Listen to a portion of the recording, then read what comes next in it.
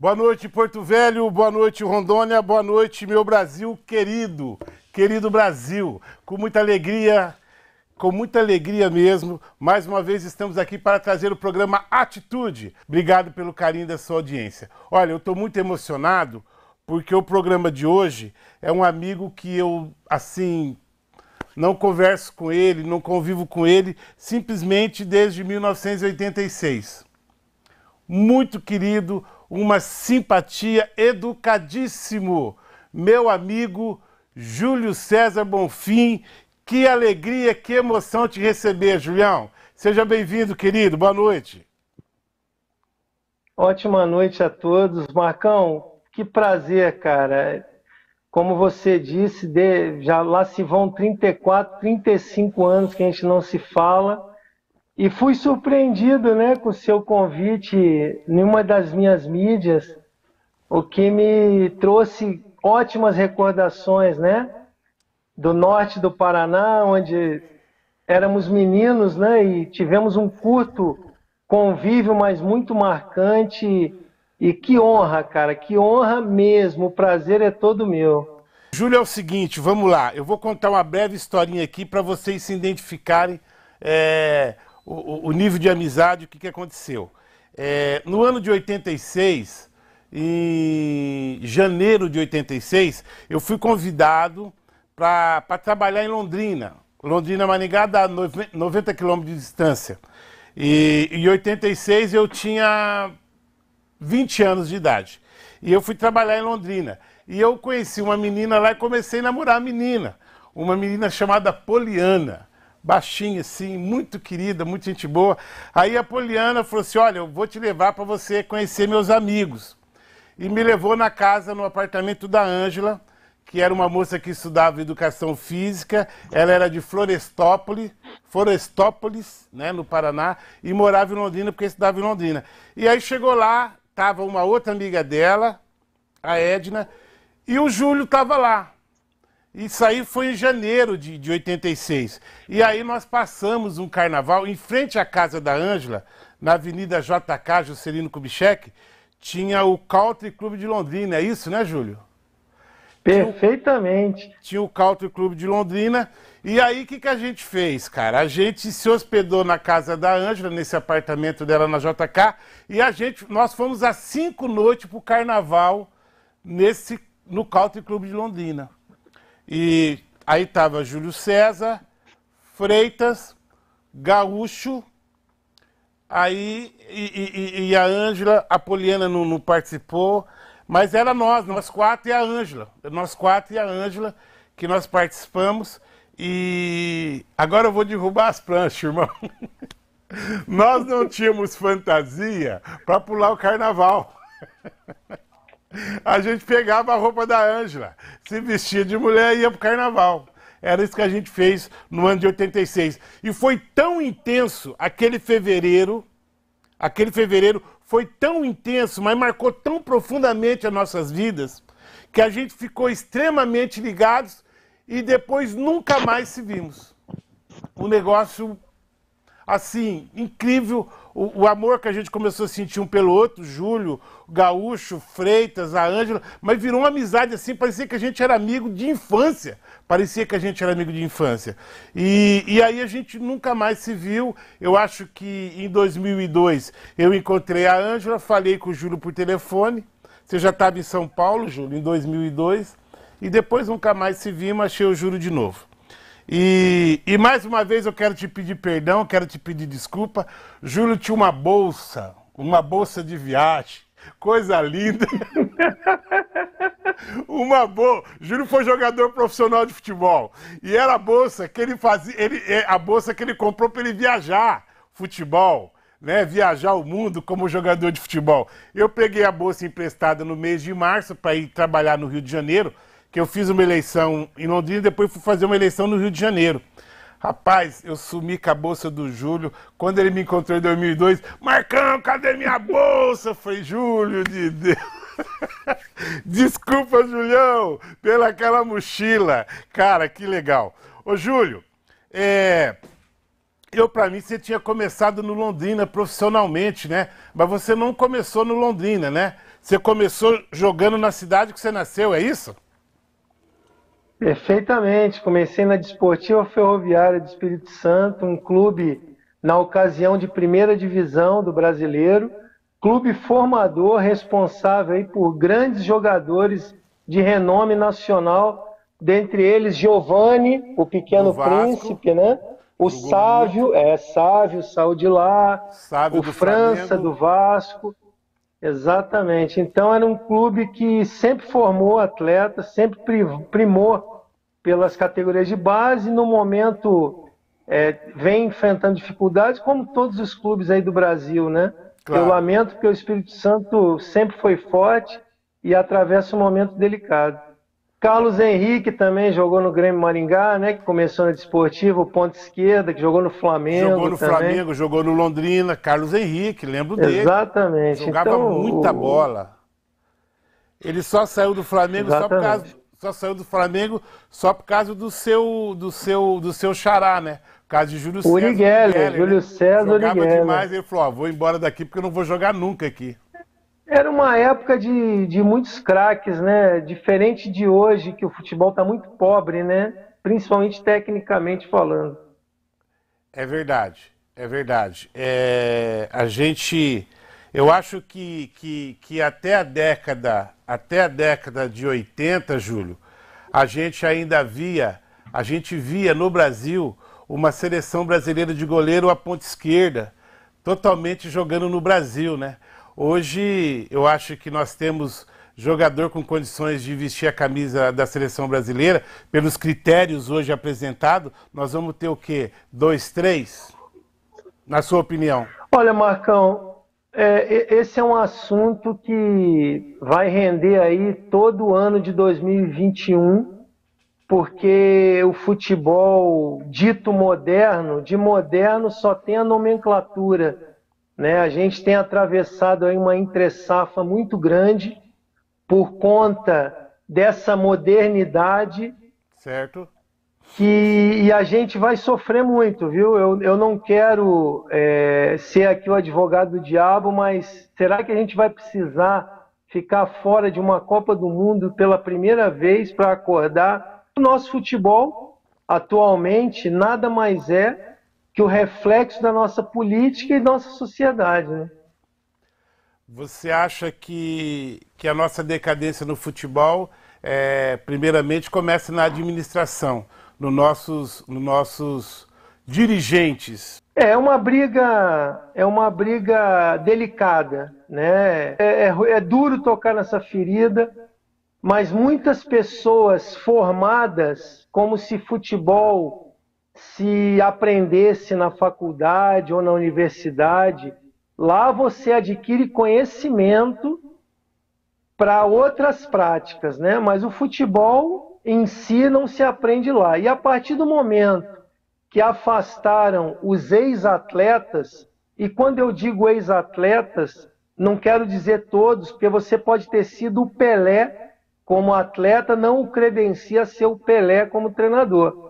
Mas claro. também um, um estudante pode ter sido o melhor da faculdade, ele sai perdendo porque ele não tem parâmetro, ele não vivenciou a situação. É como se um médico que fosse professor de medicina nunca tivesse atuado como médico. É, é meio complicado. Entendi, entendi. No Brasil nós temos vários jogadores que foram feras em campo que não conseguiram levar para o banco de reserva como treinador o mesmo sucesso, né? É, vamos lá, vamos citar Falcão, o próprio Dunga. É, sem dúvida, sem dúvida. É. Você, como eu acabei de falar, né, Marcão? Você ter sido o, o gênio na tua carreira não credencia a sequência dela o ser mas tem muito ex-atleta que poderia estar dando uma contribuição muito mais efetiva e foram afastados né, por conta de, de CREFs, de educação física, porque muita gente que não vivenciou o esporte e querem participar dele, mas sem poder contribuir de uma forma mais efetiva. Né? Então a gente fica muito triste porque o futebol está muito rico fora de campo. Dentro de campo ele, ele tem se mostrado muito pobre, muito, muito vazio né, tecnicamente. E eu temo pela sequência aí que a gente vai viver. É, eu acho que no ano de 2020, pô, eu tô com 55, eu acho que foi o ano desde que eu me entendo por gente, que eu comecei efetivamente a gostar de futebol em 75, eu comecei a assistir futebol, comecei, fiquei um aficionado durante muito tempo, né? Eu acho que em 2020 foi o ano que menos futebol eu assisti na minha vida. Foi o ano de 2020. Menos partidas eu assisti. Um futebol medíocre, ridículo, ridículo, né? Um futebol, um futebol extremamente defensivo, burocrático, pragmático, né? E, e sem falar, todo mundo sabe, inclusive o pessoal do fundo aqui tira muito sarro em mim, né? O meu Corinthians foi uma vergonha em 2020 e, e caminha passos largos. Eu acho que nós cairíamos de novo esse ano. Se o Vasco e o Botafogo não nos ajudasse, Corinthians cairia esse ano, na minha opinião. Eu acho, né? mas é, o, o, futebol está pobre. O futebol está pobre, está pobre. A seleção brasileira está terrivelmente é, é, passando por sufoco. Da Desportiva do Espírito Santo, Desportiva Ferroviária do Espírito Santo, você foi para onde, Júlio? Bom, na Desportiva, o, o, o, foi atrás do Giovani, né, que foi campeão do mundo em 83, melhor jogador do Mundial, e eu fui de contrapeso. Eles assistiram a preliminar, gostaram de mim. Eu fui pro, pro Vasco da Gama, no Sub-17. Mas quando chegou lá, eh, eles pediram muito dinheiro e eu acabei voltando para a desportiva e meu pai intercedeu. Naquela época eu ainda era amador e com muito custo ele conseguiu minha liberação. E para eu não ficar parado, eu fui para o rival, para o Rio Branco é, onde fiquei lá no sub-20, treinava com profissional. E numa partida, um olheiro do Corinthians acabou gostando e me levando para me trazendo, né, para São Paulo. Hoje eu moro em São Paulo novamente. Certo. E no Corinthians eu vim para o sub-20 e tive uma fratura de escafoide, que é um ossinho bem pequeno da mão. E dos 19 até os 31, 33 anos foi queda livre é, meu alto rendimento foi por água abaixo, porque por foi dessa... muito sofrido. Por causa dessa fratura. Exatamente. Eu ainda me arrastei, mas com muita dificuldade. Tenho sequelas até hoje que me incomodam. Mas vida que segue era o que tinha que acontecer, né, Marcão? Quando Aliás, você... se não tivesse tido essa fratura, eu não teria te conhecido, né? Que foi o que me tirou do Corinthians e nos conhecemos no, no, em Londrina, né? Como você já citou aí. É, pô, que honra, quem me dera. Mas amém, glória a Deus, te agradeço esse carinho. Quando você chegou no Corinthians, Ronaldo era o titular? Ronaldo era reserva meu no Sub-20. Reserva Aí eu tive esse problema. Então... Eu tive esse problema, ele assumiu e e seguiu a vida dele, né? Virou, virou o maior goleiro da. Aliás, agora é o Cássio, né? Mas até antes do Cássio era o maior, maior goleiro do Corinthians, né? E... É, eu, eu acho, eu acredito que o Cássio seja o que mais títulos teve. É, é óbvio que pelo título da Libertadores e do Mundial ele fica eternizado. Mas eu ainda acredito que o Ronaldo seja o melhor goleiro da história. Opinião pessoal, né? Pessoal, pessoal sua.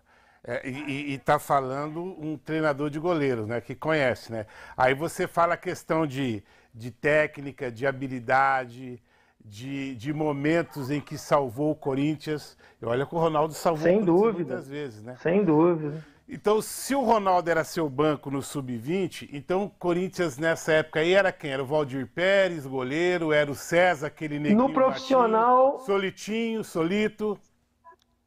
Solitinho, que Deus o tenha, meu irmão, meu amigo. É, convivi com ele muito tempo, né? No profissional, o César já tinha ido embora. É, quando o Valdir Pérez é, veio para o Corinthians, eu já estava no Londrina, mas eu convivi no profissional com o Solito, com o Carlos, com Rafael Camarota, Pô, que fe- fez é, história. entre outros, é. Rafael fez história. Rafael fez história No seu Maringá No lá. Maringá, pô, era É. o goleiro do Fantástico. Não tinha um domingo que não dava Rafael Camarota. Acabou sendo campeão pelo Curitiba, né? Campeão brasileiro pelo Campeão Curitiba. brasileiro e comentei hoje com um amigo meu, um dos grandes injustiçados de não ter ido para a Copa de 86, porque era o melhor goleiro na época, né? Na Copa de 86 no México, os goleiros eram Carlos. Carlos Paulo Vitor e Leão. é, eu acho que ele poderia ter no lugar do Leão, né? Leão É, só- o Leão, eu acredito que o Tele quis é, devolver o erro que ele fez em 82, né, em não levá-lo, e já levou um Leão já praticamente em final de carreira, né? Verdade, é verdade. Foi pagar uma dívida. Foi pagar uma dívida. É, no, Londrina, no Londrina era o Carlão, goleiro, né? Um brancão que jogou no Botafogo, né? Jogava muito. Carlão e o Carlos Pracidelli, que depois virou treinador de goleiros, né? E aí o Nossa. Neneca também, eram os goleiros. Nossa! Neneca, Neneca faleceu há, há dois anos atrás. E o Lá em Miguel. Londrina. O... Você chegou a jogar? Bom, o, o- o cara teve. O pessoal antigo que está nos assistindo vai saber o que eu estou falando. O cara passou pelo placar, pela revista Placar, na década de 80, como um dos três zagueiros mais violentos do futebol brasileiro. Você jogou com o Pinheirense ou não? Antenor Rodrigues, e caso você não lembra, não lembre, ele morava no prédio ao lado da Ângela. né? Pinheirense, que figura, cara! Que figura, batia até na mãe. Fala, Marcão, dentro da Nossa. área, irmão. Dentro da área é minha Uma casa. moça, né? É, não, um Fora de coração, campo, uma moça. um coração maravilhoso, um papo, uma conversa maravilhoso. Ele se Não- transformava, Marcão. Ele entrava em campo, era o médico e o monstro. Ele falava assim, Marcão, a minha área, a minha grande área de futebol é, é a sala da minha casa. Só entra quem eu quero, irmão. E se o cara entrar desavisado, Gente da maior ele vai qualidade. apanhar. Que Deus o tenha, cara. Faleceu também? Já Nossa. nos deixou. Pinheirense, cara. Que figura, que figura, que figura. E aí, aí, aí você. O Carlão depois foi do Londrina, ele foi pro Botafogo do Rio, não foi?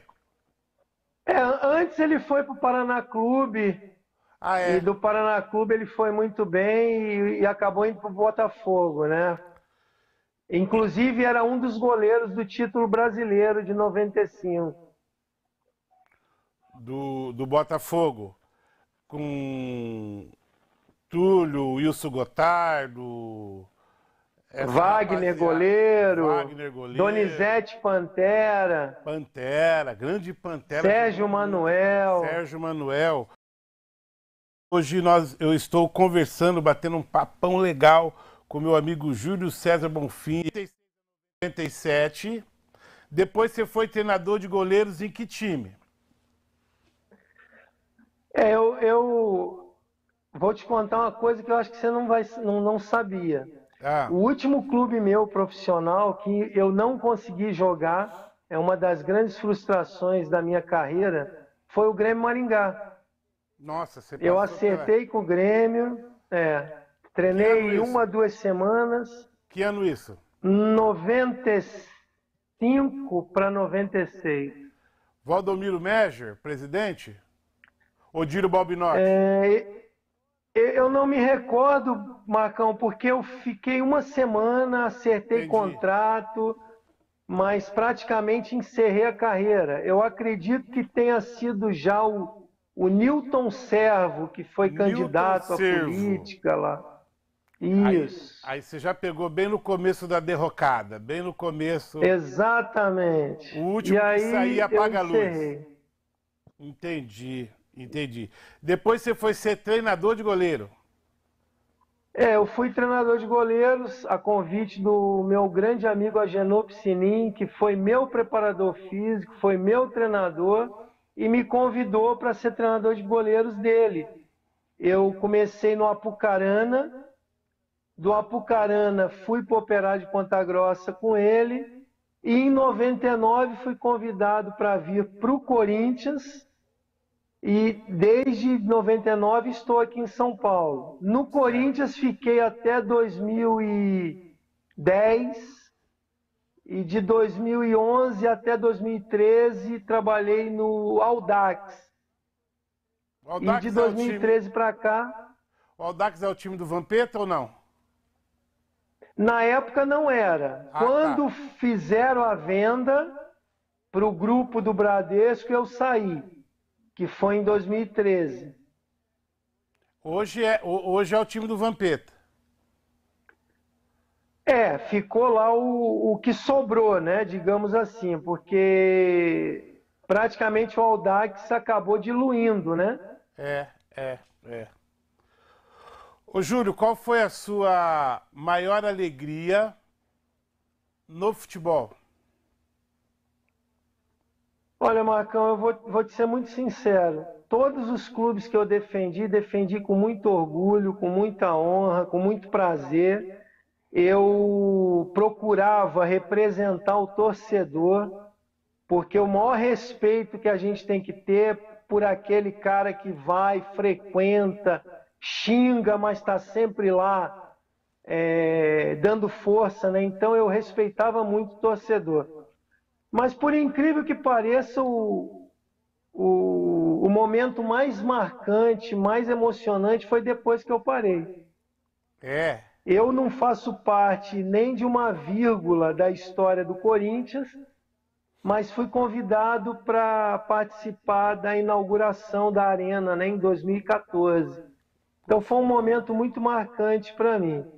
Outro momento emblemático da minha vida é, é que quando eu fui para o Operário de Ponta Grossa, em 93, é, o Fantasma, é, eu já tinha meu problema na mão, muito agravado, já estava muito, incomodando muito, e eu fiquei 11 jogos sem tomar gol, e um clube que me recebeu assim com muito carinho, com muita desconfiança na minha chegada, por conta do meu problema mas aos poucos eu fui conquistando a torcida, o torcedor, e até hoje é um, é um clube que eu tenho muito carinho, acompanho, e está aí quase chegando numa Série A do brasileiro. É verdade, não é de hoje, cooperaram quase bico. Num momento muito bom, é. É verdade, é verdade. Lá no, no Operário de Ponta Grossa tinha um dirigente lá, Joselito Micules. É isso mesmo, é isso mesmo.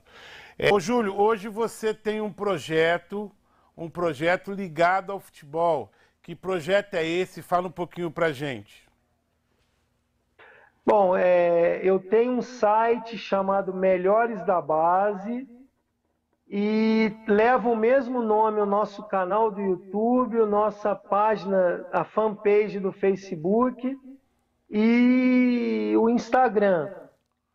É, eu acompanho né, as categorias de base, o sub-20 mais diretamente, e a gente premia os melhores do Campeonato Paulista com o troféu Hélio Caxambu. Por coincidência, eu, eu tenho aqui o primeiro troféu né, que eu guardei. É, esse ano, agora em março, seria a premiação retroativa ao ano de 2020 mas em respeito a esse momento de pandemia, a gente preferiu é, recolher as bandeiras, né? Claro, e agora, a partir de março, a gente retoma novamente. Quem foi Hélio Caxambu para receber essa homenagem? Então, Marcão, seria muito clichê eu colocar o nome de Rogério Ceni, de Zete, de Falcão, de Zico. Hélio Caxambu foi um goleiro negro dos anos 40 que jogou no São Paulo, Ponte Preta, Juventus, Portuguesa de, de Desportos. E por que Hélio Caxambu? Foi o primeiro atleta lá atrás a se preocupar com a sua categoria. Ele que fundou o sindicato de atletas e se preocupou com toda a sua categoria. Não o conheci pessoalmente. Ele faleceu em 98, eu voltei a São Paulo em 99, mas quis prestar essa homenagem. Toda edição, algum parente dele está lá no evento. E eu faço questão de agradecê-lo, porque imagina um goleiro negro nos anos 40, Marcão. Toda a dificuldade Deus. que ele teve. E por, e por curiosidade, foi o primeiro goleiro a fazer uma ponte. Ele foi o primeiro goleiro a segurar uma bola, porque Amém. eram só rebatedores. Né? Ele buscou e grudou na mão. Caramba! Hélio Geraldo Caxambu. Caxambu era o sobrenome dele ou ele é da cidade de Caxambu, no interior de Minas? Não, não. Sobrenome, sobrenome dele, ele era paulista daqui e acabou encerrando a carreira em Campinas e seus netos, uns por lá, outros aqui em São Paulo. E aí, e aí esses jogadores que vocês premiam na base, você acaba tendo alguma, alguma ingerência na carreira deles, você acaba nada. Você simplesmente destaca não, não, não. os melhores da base. Exatamente. Para você ter uma ideia, é, nós já tivemos premiado lá que está no Barcelona. Que ele é do, ele está emprestado, é, tá emprestado ao Real Betis, mas tá no, é do Barcelona, que é o Emerson lateral direito. O Arthur, que está no Red Bull, já foi premiado. O Lisieiro do São Paulo já foi premiado. E eu fico muito feliz porque eles receberam a primeira premiação quando não eram nem conhecidos com o nosso troféu, né? Então é, é muito gratificante ver a sequência da carreira deles, né? Quem que vota e de que forma é feita essa votação? O que, que acontece, Marcão? Para ser uma coisa justa, eu acompanho toda a competição. Um jogo eu acompanho em loco, né, para cobrir. E aqueles 12 melhores de cada posição, a gente seleciona e abre votação no site. Aí, cara, é briga de cachorro grande. Aquele que, que, né? E quem que vota, Júlio? Pelo qualquer site, pessoa. qualquer um pode votar. Qualquer pessoa. A única coisa que, que eu fiz questão de tomar cuidado é se você for lá e votar, você pode votar em todas as posições, mas só consegue voltar a votar 24 horas depois. Entendi. Porque cara... senão ficaria muito cômodo, né? O cara senta três horas em frente ao computador, ele vai gerar 5 mil votos para ele e... Exatamente. Poxa, que legal, cara. Então, é, é, é, tirando, tirando essa questão de pandemia, a, a sua lida diária aí é correr São Paulo, correr interior de São Paulo, assistindo jogos. É, e fora isso, eu continuo trabalhando com goleiros e sou auxiliar técnico também de um projeto chamado Expressão Paulista, que é treinamento para profissionais que estão no momento desempregados, né, em disponibilidade. O sindicato os acolhe lá, não cobra nada, eles recebem material esportivo, treinam em campo de muita qualidade até aparecer um, um, um interessado para que ele não tenha dificuldade estando parado. Né? O presidente do Sindicato dos Atletas Profissionais é, ainda é o Martorelli ou já trocou?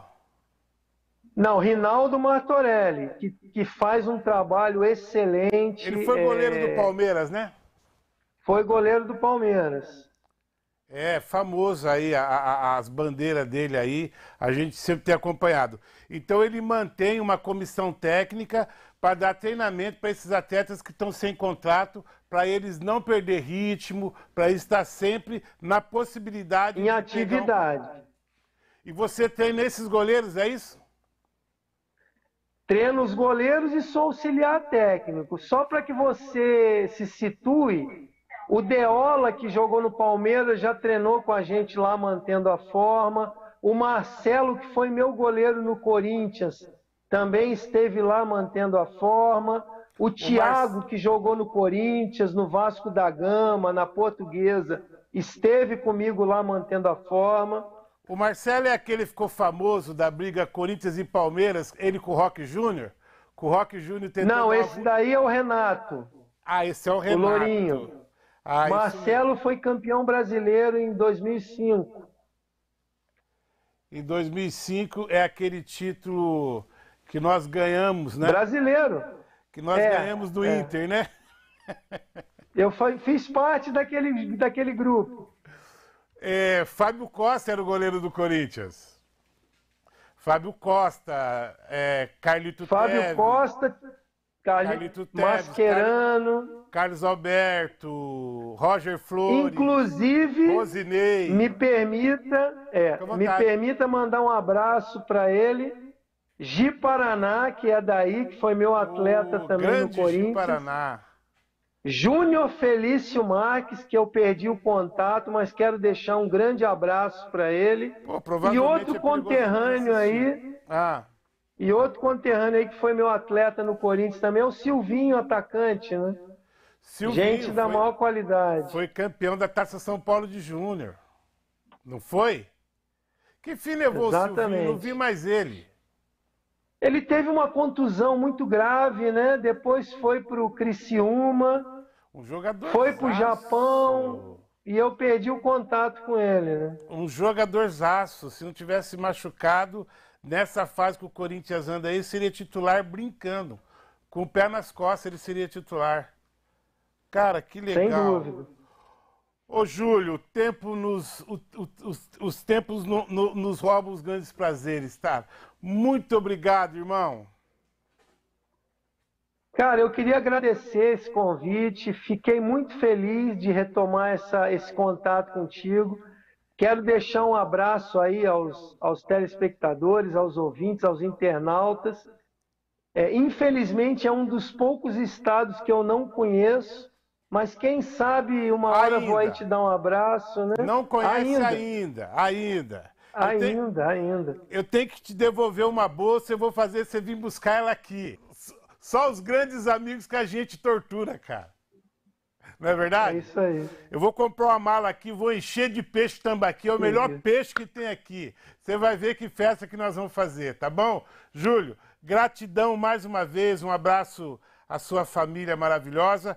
E eu vou manter contato, que eu prometi esse ano que eu vou levar meu filho para conhecer a arena, né? Eu falei, Manuel, esse ano nós vamos lá conhecer a Arena do Corinthians e aí eu espero que você me leve a conhecer aí o estádio do Corinthians. Tá com o maior prazer, com o maior prazer do mundo. Vai ser uma alegria. Meu irmão, gratidão, Deus te abençoe hoje e sempre, tá? E se ele permitir, eu quero te ver novamente ao vivo. Forte abraço. Sempre às ordens, meu irmão. Fica com Deus. Muito obrigado. Amém. Esse foi o programa Atitude de hoje. Desculpe, talvez o assunto possa não ter agradado vocês, mas é um amigo que eu não conversava praticamente desde 2000, 1986. Eu tenho um grande carinho por ele, um grande carinho muito forte, e eu fiz questão de fazer esse programa com ele, tá bom? Muito obrigado. Forte abraço, fiquem com Deus. Nós somos a Rema TV, o canal da família. Deus abençoe, tchau, boa noite e até amanhã.